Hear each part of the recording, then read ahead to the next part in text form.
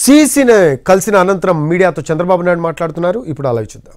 రాజకీయ పార్టీల్ని రాజకీయ పార్టీల కార్యకర్తల్ని లేకుంటే అందులో పనిచేసే వ్యవస్థని మొత్తం సర్వనాశనం చేయాలి నిర్వీర్యం చేయాలని ప్రయత్నం చేశారు.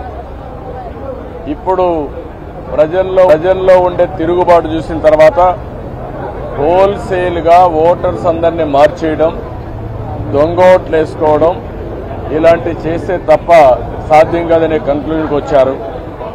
ఈరోజు ఒక ఎగ్జాంపుల్ ఇచ్చాం.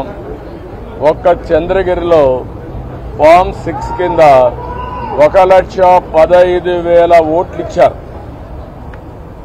దాంట్లో దగ్గర దగ్గర ముప్పై మూడు వేల ఓట్లు ఆమోదించారు. దాంట్లో వేరే నియోజకవర్గంలో విత్ ఎవిడెన్స్ అన్ని కూడా మేము పెట్టాం. అవన్నీ కూడా వారికి ఎక్స్ప్లెయిన్ చేశాం. అదే మరిగా స్టేట్ ఎలక్షన్ కమిషనర్. ఆ రోజు పడిన అవస్థ కానీ కడాన ఆయన డ్యూటీ కండక్ట్ చేయడానికి ఆయన విధి నిర్వహించడానికి సెంట్రల్ హోమ్ మినిస్టర్ని అడిగాడు. ప్రొటెక్షన్ కోసం కుటుంబాన్ని ఆయనకు సెక్యూరిటీ కావాలని అడిగే పరిధి అవి కూడా ఇచ్చాం. ఫైనల్గా మేము రిక్వెస్ట్ చేసింది వారిని ఒకటే చెప్పాం. ఏదైతే ఎలక్షన్ డ్యూటీ కేసే ఆఫీసర్ని సెలక్షన్ ప్రాసెస్లో కాకుండా ఆల్ ఇండియా లెవెల్లో చేసే బెస్ట్ ప్రాక్టీసెస్లో ఎంపిక చేసుకోవాల్సిన అవసరం ఉంది. ఈరోజు సెలక్షన్ ప్రాసెస్ ఎందుకన్నానంటే ఆల్ ఇండియా లెవెల్లో టీచర్స్ని గవర్నమెంట్ ఆఫీసర్స్ని అనుభవం ఉండే వ్యక్తులు పెట్టుకుంటారు. వాళ్ళందరినీ లేదని చెప్పి వాళ్ళ మేము ఇవ్వం ఇవ్వలేమని గవర్నమెంట్ చెప్పి కడాన ఎన్నికలను అపహాస్యం చేసే విధంగా సచివాలయ స్టాఫ్తో వాలంటీర్లతో కండక్ట్ చేయాలని ప్రయత్నం చేస్తున్నారు. అంటే ఇటీవల వీళ్ళు నామినేట్ చేసిన వ్యక్తులతో పెట్టుకొని వీళ్ళు చేసే అన్ని తప్పుడు పనులు వాళ్ళ దగ్గర చేపించాలని. అదే సమయంలో మీరు చూస్తే బిఎల్ఓలుగా అంటే బూత్ లెవెల్ ఆఫీసర్స్ ఒకప్పుడు టీచర్లు చేసేవాళ్ళు ఆఫీసర్లు చేసేవాళ్ళు. ఎక్కడ కూడా ఒక్క మిస్టేక్ కూడా ఉండేది కాదు. దట్ ఈస్ దర్ డ్యూటీ దానిపైన చాలా స్పష్టంగా ఆదేశాలు కూడా ఉన్నాయి. ఎవరన్నా కానీ డ్యూటీ స్పష్టంగా చేయలేకపోతే వాళ్ళని యాక్షన్ తీసుకోవడం ఇంక్రిమెంట్స్ కట్ చేయడం ఉద్యోగాలు తీసినవన్నీ ఉంటాయని భయపడిపోయేవాళ్ళు. ఈరోజు ఎవరు చేస్తున్నారంటే కడాన మహిళా పోలీస్. రెండు వేల ఆరు వందల మంది బిఎల్ఓని మహిళా పోలీసులు పెట్టేశారు. ఇది నాకు ఆశ్చర్యం వేసింది. ఎనభై మూడు నియోజకవర్గంలో మహిళా పోలీసులను బిఎల్ఓకి పెడితే వాళ్ళకి మహిళా పోలీసులకు ఏం తెలుస్తుంది ఇవన్నీ? అంటే ఇంకొక పక్క వై ఏపీ నీడ్స్ జగన్ అని కలెక్టర్ దగ్గర నుంచి అందరూ క్యాంపెయిన్లు చేస్తారు. ఇప్పుడు చేసిన అరాచకం చాలదు. రాతి యుగానికి తీసుకుపోవడానికి అలాంటి వాళ్ళు పెట్టుకొని చేసే పరిస్థితికి వస్తున్నారు. ఇవన్నీ మేము ఎక్స్ప్లెయిన్ చేసిన తర్వాత వారికి మా మీద కానీ జనసేన మీద కానీ దగ్గర దగ్గర ఆరు వేల నుంచి ఏడు వేల కేసులు మా మీద పెట్టారు. ఒక్క పొంగునూరులో కేసులో రెండు వందల యాభై మంది పెట్టారు. రెండు వందల మంది పైన జైలు పోయి వచ్చారు. ఇప్పుడు బైండ్ ఓవర్ కేసులు పెడుతున్నారు. అంటే నీ మీద కేసు ఉంది పోలీసు వాళ్ళు నోటీస్ ఇస్తారు ఎంఆర్ఓ దగ్గర సరెండర్ కావాలి. అంటే మళ్ళీ బెదిరించడం. ఎలక్షన్లో ఎవరిని పని చేయనీయకుండా నిర్వీర్యం చేయడానికి లేకపోతే మళ్ళా వాళ్ళని అరెస్ట్ చేయడానికి ప్రయత్నం చేసే పరిస్థితి వచ్చారు. ఇది జరిగితే ప్రజాస్వామ్యం ఇంక కూని అయిపోయినట్టే. దెర్ ఇస్ నో డెమోక్రసీ నేను ఆ విషయం చెప్పాను. మొన్న తెలంగాణ ఎలక్షన్లో వన్ డేలో ఎలక్షన్ జరిగిందా లేదా అనే తెలియని విధంగా జరిగింది. అంత స్మూత్గా జరిగింది. ప్రాసెస్ కూడా పర్ఫెక్ట్గా జరిగింది. ఈరోజు ఆంధ్రప్రదేశ్లో అక్కడ ఇంత ఓటర్స్ ఎన్యూమరేషన్ ఫ్రాడ్ జరిగిందని బిఎల్ఓలు తప్పులు చేశారని టీచర్లు తీసేశారని ఎక్కడ కంప్లైంట్స్ లేవు. భారతదేశ చరిత్రలో ఫస్ట్ టైం ఇవన్నీ వస్తున్నాయి. మేమన్నీ డీటెయిల్డ్గా ఎక్స్ప్లెయిన్ చేశాం. ఓపిక్గా విన్నారు. చాలా ఫర్మ్గా కూడా చెప్పారు. మేము ప్రజాస్వామ్యాన్ని కాపాడడానికి అన్ని విధాల ప్రయత్నం చేస్తాం. ఎక్కడ కాంప్రమైజ్ కాం. రిజల్ట్స్ మీరే చూస్తారని వారు హామీ ఇచ్చారు. వారు ఇచ్చిన హామీతో నేను ఒకటే అనుకుంటున్నాను. ఎలక్షన్ కమిషన్ అవసరమైతే సెంట్రల్ పోలీస్ అబ్జర్వర్స్ను పంపించాలి.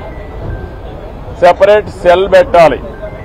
అవన్నీ పెట్టి ఎక్కడికక్కడ మానిటర్ చేసి ఎలాంటి అవకతవకలు జరగకుండా ఇప్పుడు ఫైనల్ లిస్ట్ వచ్చే కొందికి వినపడలేదా? ఎవరు కార్లు ఎప్పటికప్పుడు మానిటర్ చేయాల్సిన అవసరం ఉంది. ప్రజాస్వామ్యం కోసం మా ప్రయత్నాలన్నీ మేము చేస్తున్నాం. ఇంకా చేస్తాం. దాని గురించి సందేహం లేదు.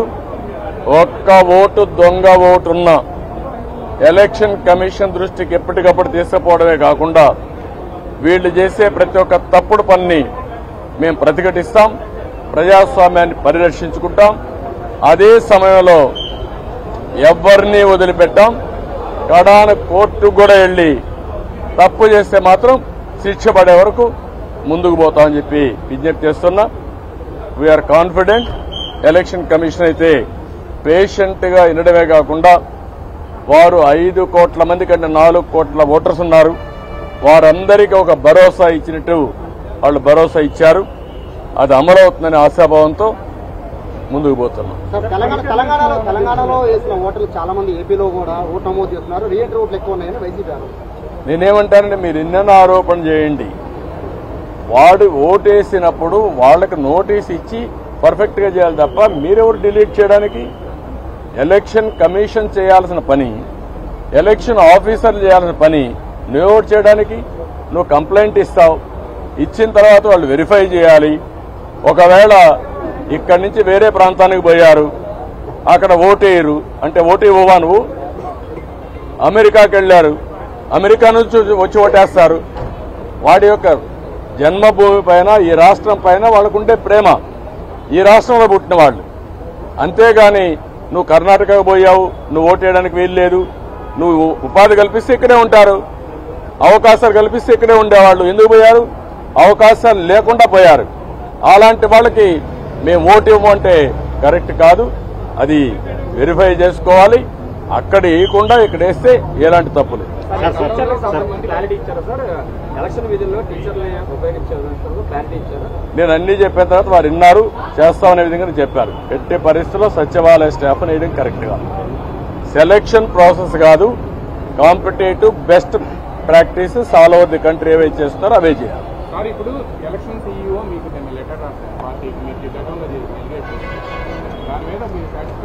లేదు దాని మీద కూడా మేము చెప్పాం.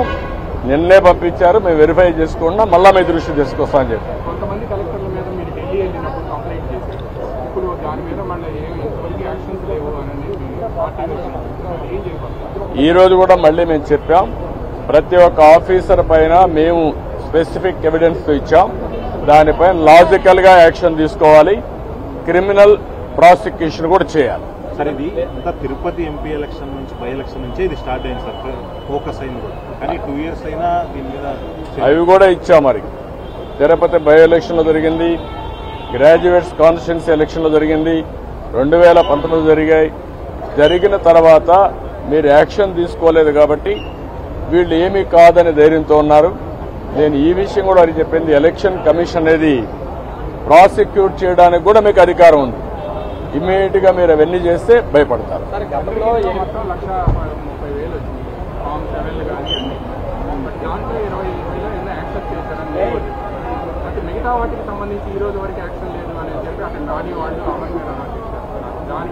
ఆ విషయం కూడా వారికి చెప్పాను. ఆయన అరెస్ట్ చేశారు. ఎవరైతే ఓటర్స్ బోగస్ ఉన్నాయని చెప్పి ఎక్కడికెక్కడ పోరాడుతా ఉంటే అది కరెక్ట్ చేయకుండా అతను అరెస్ట్ చేయడం అనేది ఎక్కడే పోతానని చెప్పి అడిగాను. ఆ డీటెయిల్స్ కూడా వారికి ఇచ్చాం ఆ రిప్రజెంటేషన్ నాకు వచ్చింది. వెరిఫికేషన్తో సహా మొత్తం డీటెయిల్స్ ఇచ్చాం. ఏ ఏ ఓటు ఎక్కడ వెరిఫై చేశారు డూప్లికేషన్స్ ఎక్కడున్నాయి సర్నేములు కానీ ఇవన్నీ ఫోటోలు ఎక్కడున్నాయి వేరే కాన్స్టిట్యూన్సీలు ఎక్కడున్నారు ఆ డీటెయిల్స్ అని వారికి హ్యాండ్ ఓవర్ చేయడం సార్ మీరు గతంలో సీఈఓ గారికి ఒక ఎనిమిది జిల్లాల కలెక్టర్ కూడా సహకరిస్తున్నారు ప్రభుత్వానికి ఫిర్యాదు ఇచ్చారు. దాని మీద ఏమైనా యాక్షన్ తీసుకున్నారా? వారికి ఏమైనా వారు చెప్పింది ఏంటంటే మేము ఇంతవరకు కొన్ని యాక్షన్స్ తీసుకున్నాం మళ్ళీ మీకు కమ్యూనికేట్ చేశాం. మళ్ళీ మీకు ఏదైనా గ్రీవెన్స్ ఉంటే మేము చెప్పాం మళ్ళీ ఎప్పుడెప్పుడు చెప్తామంటే నిన్న ఇచ్చారు కాబట్టి మీరు చూసి చెప్పన్నారు. డెఫినెట్గా మళ్ళా కంప్లైంట్ చేస్తా నేను ఒకటే చెప్పాను. ఆల్ ఆఫీసర్స్ బెదిరింపులు భయభ్రాంతులు చేస్తున్నారు. ఒక చీఫ్ సెక్రటరీ ర్యాంక్ ఆఫీసరే ఎలక్షన్ కమిషనర్గా ఉంటే కేంద్ర ప్రభుత్వాన్ని ప్రొటెక్షన్ అడిగే పరిస్థితికి వచ్చాడు. అదే ఎగ్జాంపుల్ వారికి చెప్పాను. ఇప్పుడు ప్రతి ఒక్క ఆఫీసర్ మీద అది కలెక్టర్ కావచ్చు ఎస్పీ కావచ్చు కింద ఆఫీసర్లు కావచ్చు బెదిరించడం బ్లాక్మెయిల్ చేయడం ఒకవేళ కానీ వినకపోతే కేసులు పెట్టడం అరెస్ట్ చేస్తాం రిటర్న్ చేయడం. ఇవే జరుగుతున్నాయి. ఇలాంటి జరిగినప్పుడు మీరు ఫర్మ్గా ఉంటే తప్ప ఇక్కడ ఫేర్ ఎలక్షన్ జరగవని చాలా స్పష్టంగా చెప్పారు. సార్ టైం సరిపోతుంది అంటారు. అంటే చర్యలు తీసుకోవడానికి ఇంకా ఎక్కువ ఉంది అసలు వీళ్ళు తీసుకునే అవకాశం ఉందంటారా? అంటే మీరు ఒకటి గుర్తుపెట్టుకోవాలి. ఎలక్షన్లు రెండు నెలలే ఉంది. ఎలక్షన్ ప్రాసెస్ స్టార్ట్ అయిపోయింది. ఎన్యూమరేషన్ అయిపోయింది. ఓటర్స్ వెరిఫికేషన్ అయిపోయింది. ఆ డేట్ కూడా ఈ నెల ఇరవై నాలుగో తారీఖు డేట్ కూడా ఇచ్చేశారు. ఇవన్నీ అయినాయి. కానీ ఫర్మ్గా ప్రతి ఒక్కటి ఎలక్షన్ కమిషన్ గాని అనుకోకపోతే ఇంకా స్లిప్ అయ్యే అవకాశం ఉంటుంది. టైం ఇంకా మీకు తిరిగి రాదు. Election day is decided polling day is decided counting day కూడా డిసైడ్ అయిపోతుంది రెండు మూడు రోజుల్లో. అది కాదు ఇక్కడ ఇష్యూ. వీళ్ళెంత ఫర్మ్గా ఇప్పుడు ఇంతవరకు చేసిన ప్రాసెస్ ఎట్లుందో చూడడానికి వచ్చారు.